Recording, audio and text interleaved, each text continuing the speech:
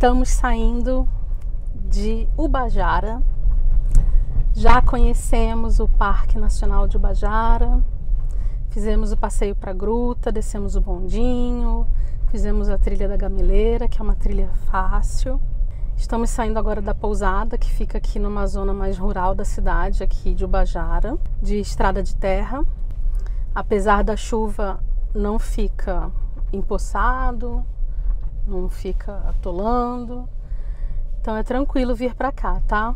O nome da pousada é Aconchego da Serra. A gente reservou pelo Booking. A diária custou 205 reais, tá? Com o nosso desconto de gênios, de usuário já mais há algum tempo. E vai ficar para vocês aí agora a imagem da pousada, as imagens do café da manhã, do quarto e as imagens aqui do Parque Nacional de Ubajara para vocês conhecerem e virem visitar, tá? Aqui nós estamos no Ceará agora. A gente saiu do Maranhão, atravessou o Piauí e agora nós vamos voltar para o Piauí de novo, tá bom?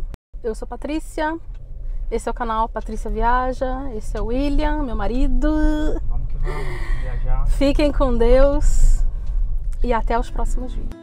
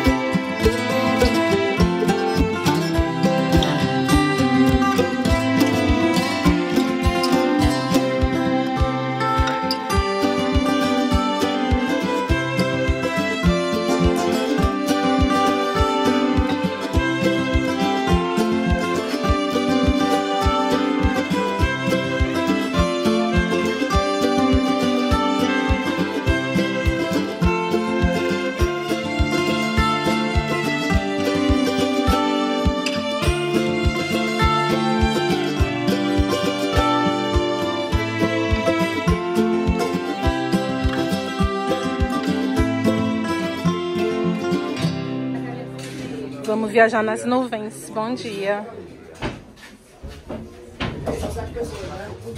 Meu nome é Ricardo, estamos fazendo uma descida de 550 metros até a estação Gruta e esse passeio tem a duração apenas de 3 minutos mesmo, ok?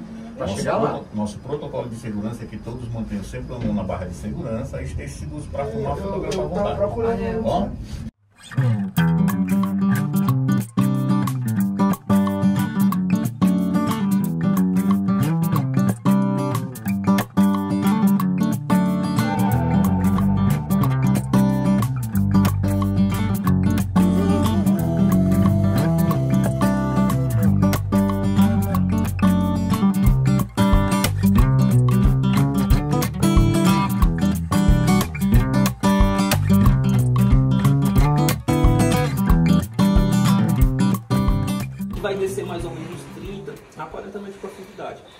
Bom? desce, mais úmido vai ficando, consequentemente mais escorregadio. Então vocês têm que se atentar muito.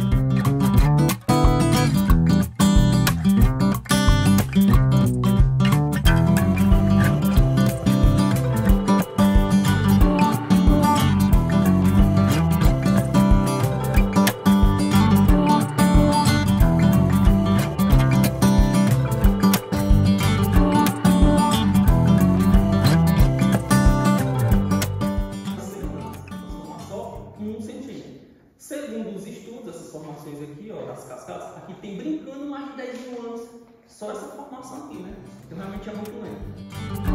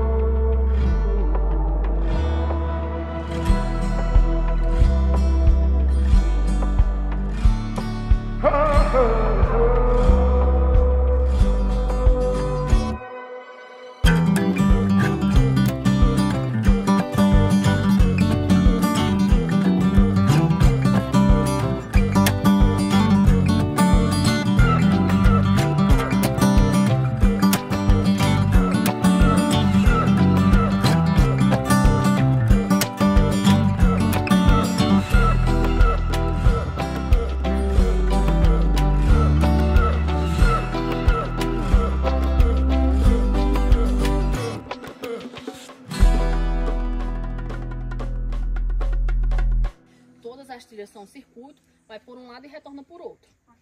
O ponto que nós estamos é aqui, ó, nesse pontinho preto. Aí nós vamos por uma trilha que foi aberta aqui, onde nós vamos chegar até a cachoeira da Gameleira. Café também, entendeu? Então tem bastante aqui nessa, nesse local e esse é chamado café de sombra porque ele se adaptou bem à sombra.